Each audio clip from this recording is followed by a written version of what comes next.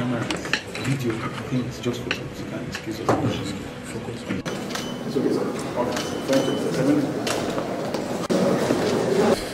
Thank you very much. Maybe I should start by expressing profound gratitude to His Excellency the President, uh, Commander in Chief of the Armed Forces, uh, President uh, Bola Ahmed Tinubu, and all the people that God has used to make him take this decision. Uh, in the last eight years, Customs has gone through a period of uh, transition. Uh, some progress has been made. Uh, we made remarkable progress in uh, e-customs. Uh, we made a lot of breakthrough in capacity building, but then customs can still live to its full potentials. You know, when we bring in some kind of innovations to drive customs operations. So these are the kind of things we'll be looking forward to in the years ahead. And I've gotten the assurance of the president through the vice president who just uh, did this ceremony. Well, the expectations that we have is that uh, uh, we are going to be professional in our approach. Uh, there are a number of uh, partners, stakeholders that we are going to be working with. It's a very onerous task for the customs, but we believe that we will be working alongside other stakeholders, uh, other partners uh, that we have identified who yearn to work with us, uh, who felt that they've not been given enough. Uh, uh, enough say in customs matters, customs operations.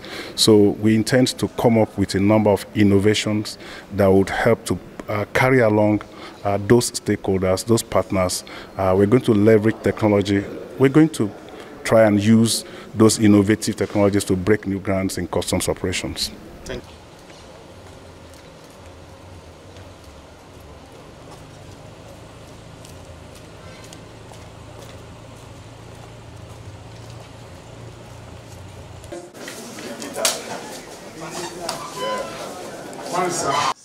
Your Lagos.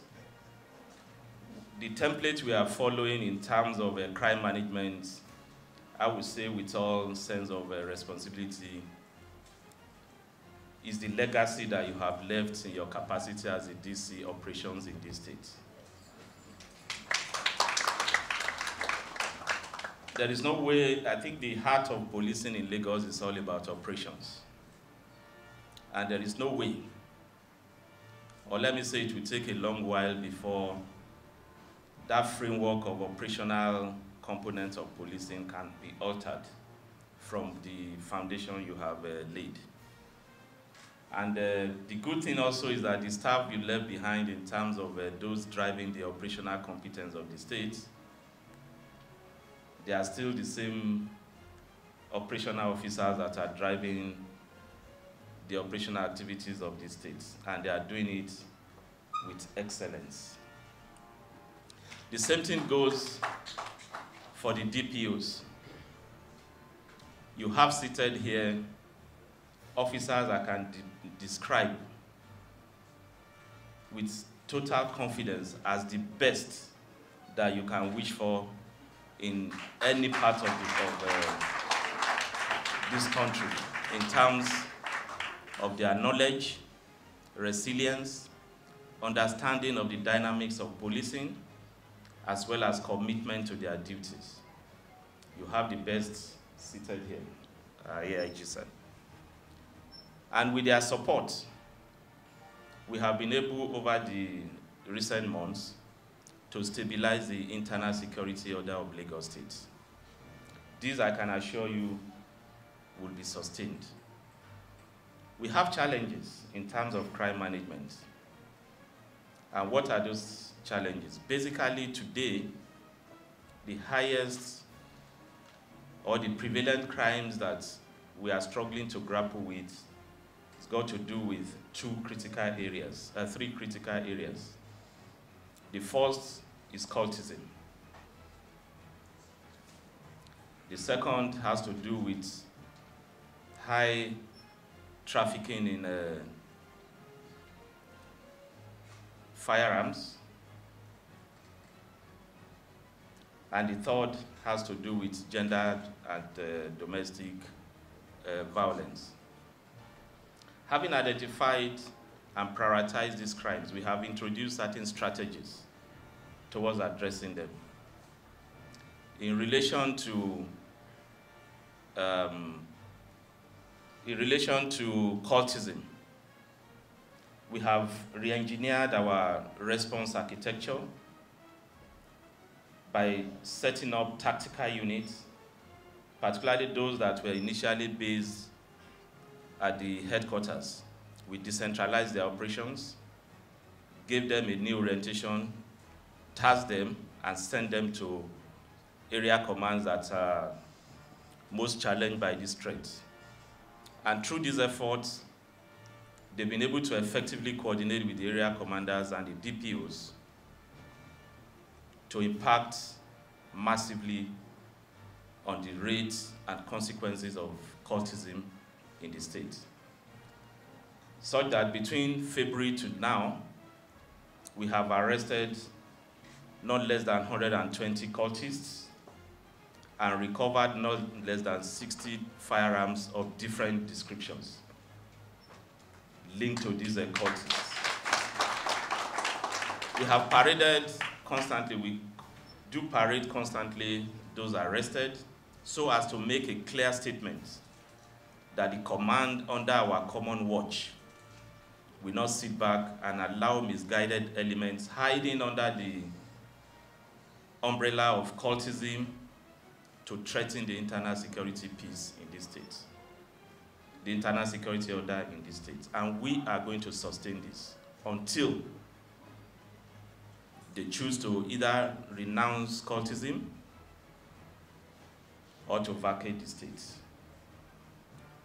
In relation to firearms, it is of concern because it is virtually on daily basis that officers on patrol recover firearms locally fabricated, foreign. And I think it has gotten to a stage where that menace has to be made, the, discourse around that menace must be mainstreamed.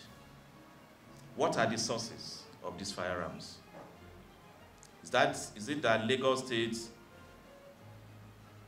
because of our association with some neighboring states and the uh, borderline, is it that we are having issues with our border management and border security system such that these weapons can be easily smuggled in? Is it that there are networks within Lagos or within the states, the states uh, adjoining uh, Lagos that act as source of a supply? So our approach is not just to mop up these firearms. Our approach is also to get to the depth of the sources of these arms. And all the DPOs, the tactical commands, have been charged to do that. Because it's only by getting to the roots that we can effectively say that we have cracked uh, such, uh, such crimes. In relation to gender violence, what we are trying to do is to re-engineer our um, gender unit in collaboration with the Office of the First Lady, the uh, Sexual uh, Violence uh, Unit of Lagos State uh, Command, NGOs, and some other uh, strategic stakeholders.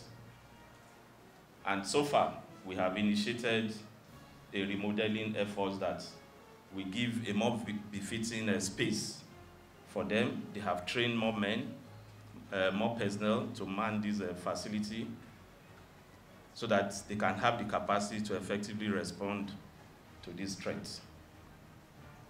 In so doing, sir, we'll be requiring your fatherly support. We have issues of logistics. I know ordinarily the AIG may say this is beyond him. I may wish to disagree that it's beyond you. Why? Because you have a network already entrenched in these states. You also have, as our AIG, a relationship with the force headquarters.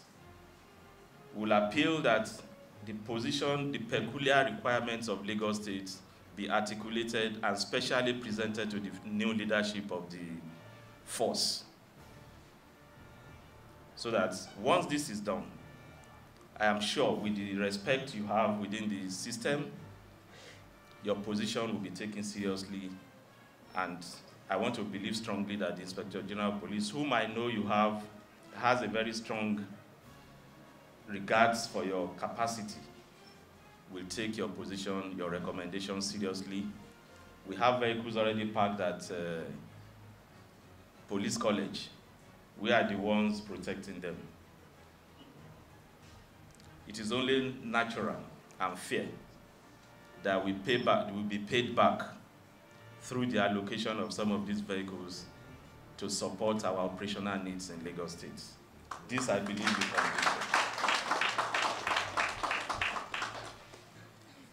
Um, other than this, we have need for training.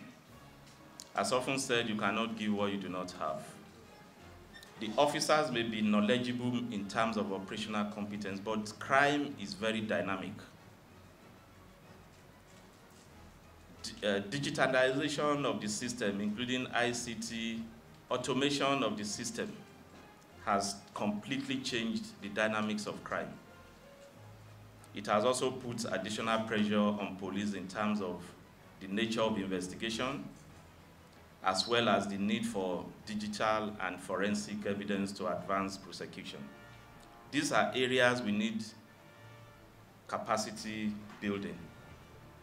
And if the AIG can draw on his goodwill, his network within Lagos State and beyond, to support the command in organizing tailor-made training programs towards enhancing our capacity, it will really assist us and I'll be willing to work with the, and if the AIG, who I know is very comfortable in his own right, can also fund some of these for us, we'll be eternally grateful.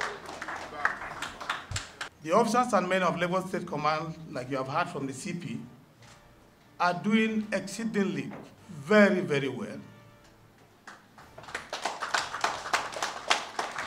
But for every situation, there's always room for improvement.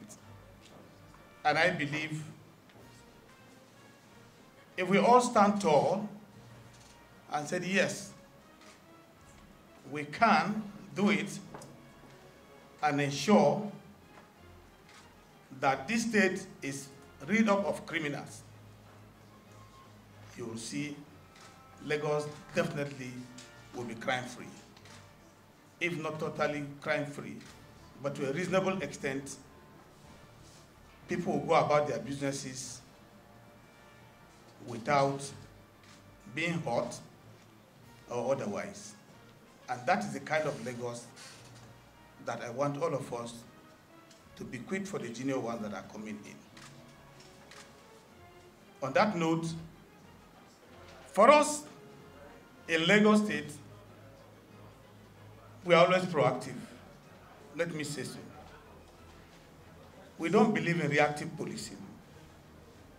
And that is why you see officers and men of this command, whether on uniform or in mufti, moving around, nose diving, to get information about happenings.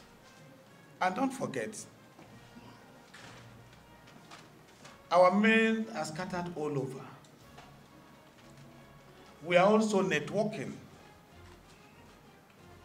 with members of the public that could have one or two information about the movement of these uh, monsters to abreast us. That is not enough. We are also synergizing with other security agencies like you are aware, realizing, of course, the fact that globally no one does it alone without partnership, and that we are doing. So by the special grace of God, before any terrorist will raise up his head to commit any havoc here in Lagos, trust me, we would have gotten that information and nipped the problem rightly in the book. Thank you. Everything we are doing in Nigerian police force today revolves basically around discipline. Unfortunately, very, very unfortunate as it were, today, to a large extent, discipline has been eroded.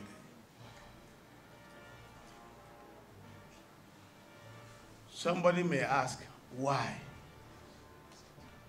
The reason is not far-fetched. Some of us are responsible, if I may say, because I cannot say all of us because quite a number of us here are well disciplined.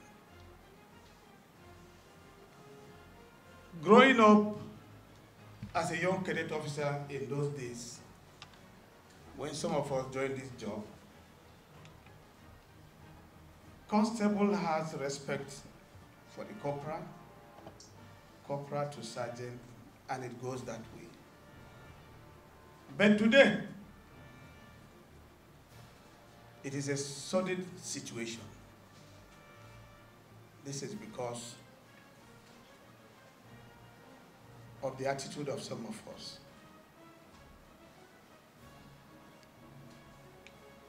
We need to have a change of attitude, in other words, a reorientation or attitudinal change.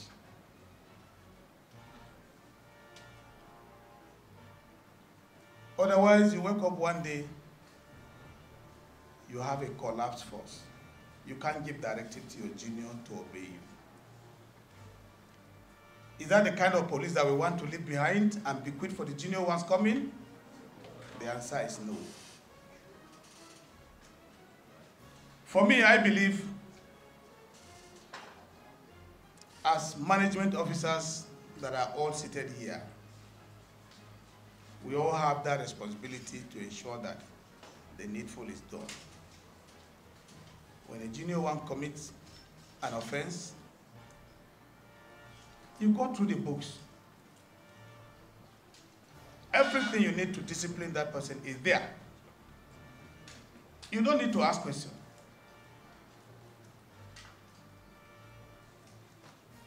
So we have to key into the IGP's agenda and ensure that we enforce discipline to the latter.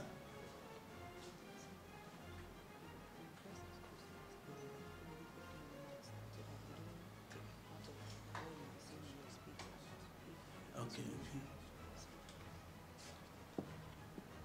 Yes, uh, members of the press just been whispered to and uh, principally all that I'm supposed to discuss here is basically with the officers. For the press,